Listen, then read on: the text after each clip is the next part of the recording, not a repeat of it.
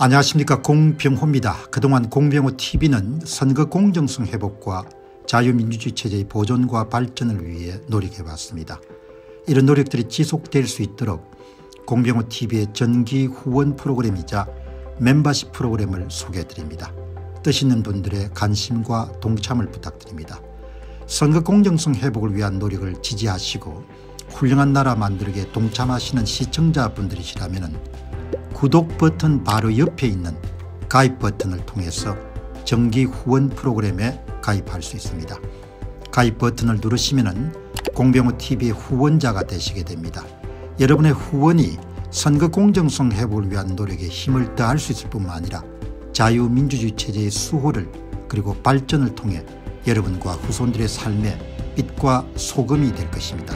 특히 그동안 공병호TV는 선거 공정성 회복을 위한 노력 과정에서 채널 성장에 제약이 가해지는 불이익을 감수해왔고 지금도 그런 불이익이 계속되고 있습니다.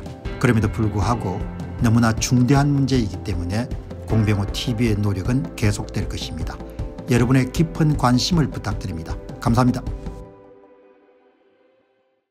자, 여러분 이제 오늘 이 한국경제신문의 편집국장을 지냈던 예, 분이 나라가 참 왼쪽으로 기울었다. 나라가 어려워지고 이렇게 되면은 뭐 지도자만 나무랄 수가 없는 게 국민들이 큰 책임을 져야 되는 거죠. 예. 집단적으로 그런 선택을 할 때는. 그런데 뭐 역주행으로 나라를 끌어가는데 동의하는 사람들이 그 콘크리트 지지층이 있지 않습니까 40% 플러스 알파 예. 부동층 빼고 그 내용에 대해서 예. 조일훈 지금은 논설실장이시네 예. 얼마 전까지 이제 편집국장이었습니다. 조국 수호 이재명 방탄 그 5년의 퇴락 뭐 이렇게 이제 이야기를 했는데 과거에 이명박 대통령은 광우병 사태를 겪은 직후에 좌파가 이렇게 센지 몰랐다고 토로했다. 많은 우파 지식인들이 정치 물정에 어두운 대통령에게 혀를 찼다. 예. 이제 이명박 대통령이 계실 때 제가 기억 속에 아주 오래 남아있는 것이 이념의 시대는 가고 실용의 시대가 왔다. 그렇게 이름들 많이 이야기를 했습니다. 그때 아 저분들이 참 상황 판단을 못하시구나. 이념의 시대는 가고 실용의 시대는 왔다. 절대 여러분들 사실이 될 수 없는 거죠.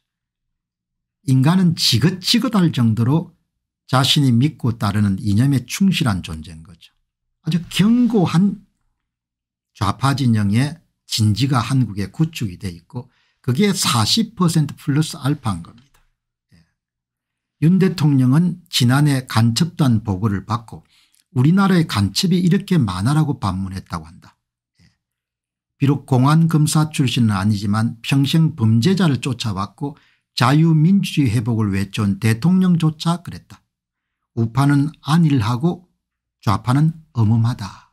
제가 며칠 전에 2023년도 1월 무렵에 소설가 이문열 선생이 여러분들 가졌던 월간조선의 인터뷰 내용을 소개를 했지 않습니까 그 인터뷰 내용은 너무나 오랫동안 기억에 남기 때문에 방송을 통해서 좀 지겨울 정도로 여러 번 소개를 했습니다. 윤 이문열 선생이 그러지 않습니까 2000에 37년을 살았는데 그 마을이 원래 그렇지 않았는데 너무나 집단주의적 색채로 계속해서 나간다는 거죠. 내가 알던 대한민국이 대한민국이 아니라고 이야기하지 않습니까 다른 분들은 그냥 단순하게 의과대학 정원을 확대한다 이렇게 보실지 모르겠지만 이번에 여러분들 윤 정부가 의과대학 정원을 67% 올리는 그 과정 그들의 발상 그리고 그게 동조하는 많은 시민들을 보면서도 아 나라가 어마어마하게 바뀌고 말았구나 그렇게 제가 생각을 했습니다.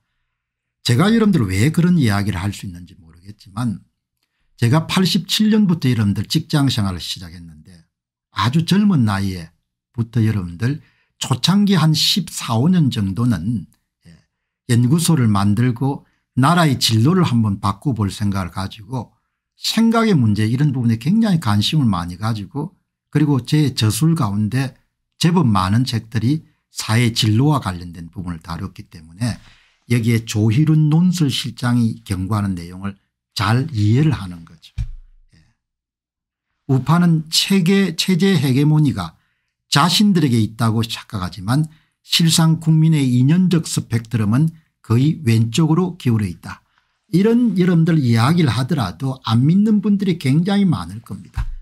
한국은 선거판도 기울어져 있지만 이념적 스펙트럼도 어마어마하게 기울어진 상태입니다. 예.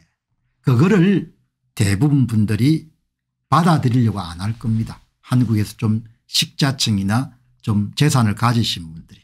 우파는 체제 헤게모니가 자신들에게 있다고 착각하지만 국민의 이념적 스펙트럼은 어마어마하게 기울어져 있는 거죠. 특히 그 세대별로 따지게 되면 대한민국의 40대 50대들은 가장 자본주의의 여러분들 혜택을 많이 본 사람들인데도 예. 뭐 납득할 수 없을 정도로 뭐죠. 그렇게 그래서 문바가 생기고 예, 친문들이 그렇게 득세를 하게 되는 겁니다. 국민의 이념적 스펙트럼은 거의 왼쪽으로 기울어져 있다. 그게 나라가 이런 기우는 결정적입니다. 왜 사람의 행동은 예, 이념의 산물이고 생각의 산물이기 때문입니다. 예.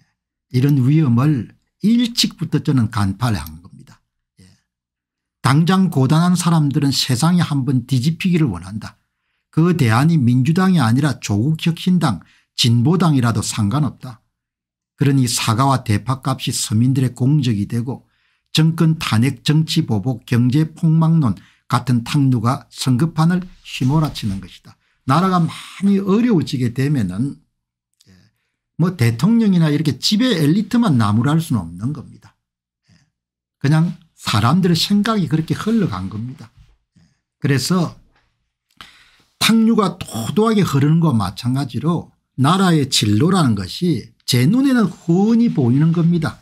예. 노력은 하지만 그래도 손을 놓고 이러면 있을 수는 없으니까 노력은 하는데 여러분들 그 선거 부정 문제를 덮는 것도 그런 선상에서 이해를 하게 이해를 하면 되는 겁니다.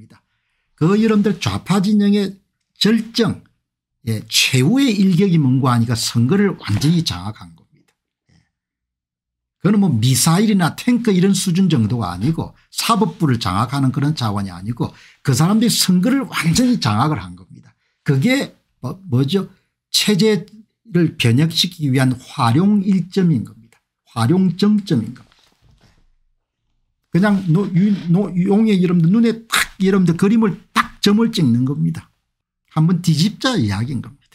뒤집어 가지고 마지막 갈 때까지 한번 가보자 그렇게 하는 겁니다. 한국 사람들 화끈하지 않습니까 그래서 저는 일본 같은 나라들은 전혀 걱정이 안 돼요. 나라 자체가 워낙 탄탄하니까 좀 여러분들 경제가 어려워 슬슬 가라앉더라도 크게 문제가 없는 겁니다. 그러나 이 나라에는 예, 한번 뒤집자 이런 사람들이 제가 볼 때 한 40% 플러스 알파인 같아요. 그냥 뒤집어 보자 이렇게 하는 겁니다. 뒤집어서 그다음에 어떻게 될지는 한번 겪어보자 이건 겁니다. 그럼 겪어봐라 이건 겁니다. 그런데 그 시나리오가 상당히 여러분들 이제 다 완성 단계에 들어간 거죠. 그거를 마지막에는 선거의 이름으로 합리화를 할 수 있는 거. 선거의 이름으로 기본소득제를 도입하고 선거의 이름으로 토지 국유화를 여러분들 실천하고 선거의 이름으로 토지 보유세를 여러분들 설정하고 선거의 이름으로 부유세를 설정한 것입니다. 선거의 이름으로 그냥 뒤집어 엎는 겁니다. 지난 5년간 우리나라 정치윤리와 규범은 퇴락의 길을 걸어왔고 조국 수호 정치검찰 아웃 대장동 몸통 이재명이 아니라 윤석열이라는 반동적 주장에 늘상 40%의 지지가 뒤따랐다. 예, 이 40%가 그냥 뒤집는 겁니다. 그냥 나라를. 예. 다른 사람들은 여러분 억울하겠지만 뭐 집단적 선택이라는 것이 할 수가 없는 겁니다. 하마스를 선택했기 때문에 여러분 가자 지역에 거주하고 있는 팔레스타인이 그냥 초토화되지 않습니까 집단적 선택이 겁난 것이 바로 그건 거죠. 정치적 광풍이라는 것이 그래서 겁나는 겁니다. 그냥 개인은 아무 소용이 없는 겁니다. 그냥 나라의 다수가 그런 체제를 선택하게 되면 그냥 그걸로 그냥 그냥 걸어간 겁니다. 우리 미래의 중국 따위는 하나도 중요하지 않다고 생각한다. 이대로 가다가는 아르헨티나처럼 될 수 있다는 얘기도 마찬가지다. 이재명 대표는 상황과 비교 대상이 맞지 않는 것을 알면서도 같은 주장을 반복한다.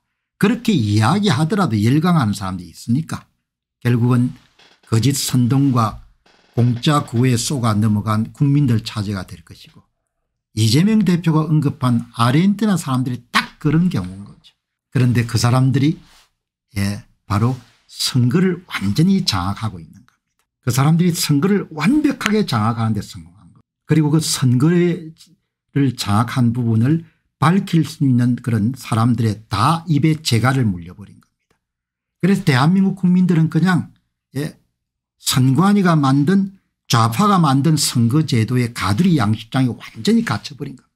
그러니까 제가 여러분들 이런 주장이 다소 여러분들 앞선 주장이 될 수 있을지 모르겠지만 그러나 그 주장이 진실의 순간이 올 겁니다. 예, 진실의 순간이. 그래서 제가 아주 작심하고 그냥 많은 분이 보든 채널이 탄압되든 관계없이 그냥 내가 사유하고 판단한 것을 있는 그대로 말씀을 드려야겠다 이렇게 생각하는 거죠. 이렇게 이런 선거를 다 만드는 겁니다. 예, 선거를 만들어 가지고 예, 이게 종로구 이게 여러분 송파구 이거 보시게 되면 이게 송파구 여러분 종로구 비교한 겁니다.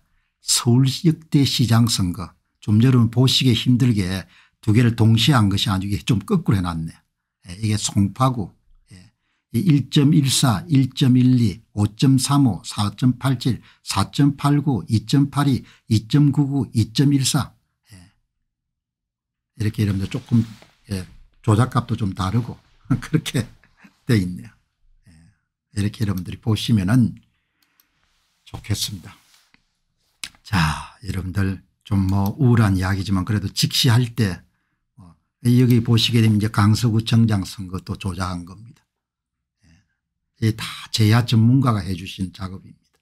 여러분 강서구청장 보궐선거 조작해 놓은 거 보시기 바랍니다. 자 여러분 이제 다음 주제 들어가기 전에 간단하게 이런 광고 멘트 하나 하고 여러분들 들어가도록 그렇게 하겠습니다. 이 건국전쟁을 보신 분들이 많지 않습니까 참 다큐멘터리 건국전쟁을 김덕영 감독이 만드셨는데 이분이 이제 다큐멘터리는 영상도 잘 만드시지만 글도 참 잘 쓰시네요. 그래서 이 길지 않게 본인이 하고 싶은 그런 이야기를 건국전쟁이라는 책에 잘 담았기 때문에 여러분께서 반듯한 그런 역사적 시각을 갖고 또 한국의 현재 문제를 바라보는 그런 정확한 판단을 하시는데 킹덤 북스에서 나온 김덕영 감독이 말하는 건국전쟁 한번 여러분 제가 권해드리고 싶습니다.